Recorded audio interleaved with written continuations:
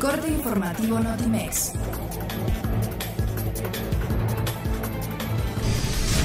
Estados Unidos y México alcanzaron un entendimiento en principio tras un año de intensas negociaciones para la modernización del Tratado de Libre Comercio de América del Norte, que allana el camino para la reincorporación de Canadá a las pláticas.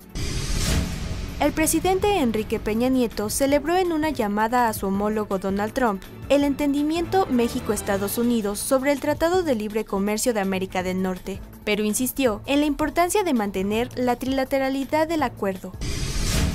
El Banco de México puso en circulación un nuevo billete de 500 pesos que en su anverso cuenta con la imagen de Benito Juárez, en sustitución de Diego Rivera e Ignacio Zaragoza, el cual es el primero de una nueva familia de billetes más difícil de falsificar.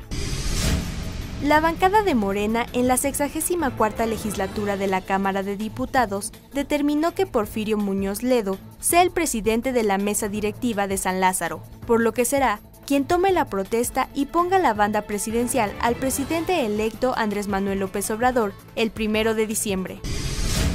El brasileño Ricardo Ferretti señaló que, pese a que dirigirá a la selección mexicana de fútbol en los partidos amistosos frente a Uruguay y Estados Unidos, reiteró su negativa de asumir el cargo de manera permanente. A menos de un mes de su estreno, la película mexicana Ya Veremos, que protagonizan Fernanda Castillo, Mauricio Ockman y Eric Asher, se ha convertido en la película mexicana más exitosa de 2018, al recaudar 187.72 millones de pesos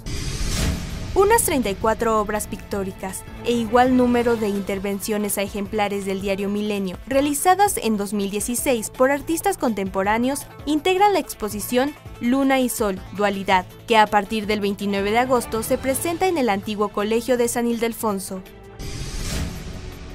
Notimex, Comunicación Global.